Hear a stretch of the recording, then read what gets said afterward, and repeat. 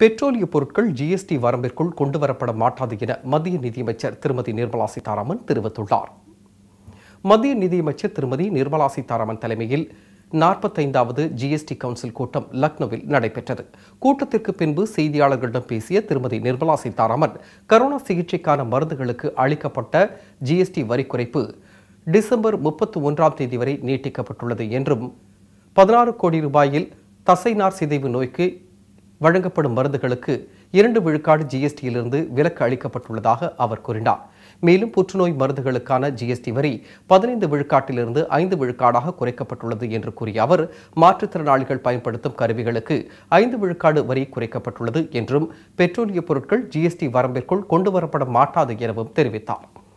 Petrol டீசலை ஜிஎஸ்டிக்குள் கொண்டுவர GST council உறுப்பினர்கள் எதிர்ப்பு தெரிவித்த நிலையில் பயோடீசலுக்கான ஜிஎஸ்டி வரி பன்னிரண்டு விழுக்காட்டிலிருந்து ஐந்து விழுக்காடாக குறைக்கப்பட்டுள்ளதாகவும் ஸ்விக்கி ஜொமேட்டோ உள்ளிட்ட நிறுவனங்கள் மேற்கொள்ளும் உணவு டெலிவரிக்கு ஜிஎஸ்டி வரி வசூலிக்கப்படும் என்றும் அவர் கூறினார்.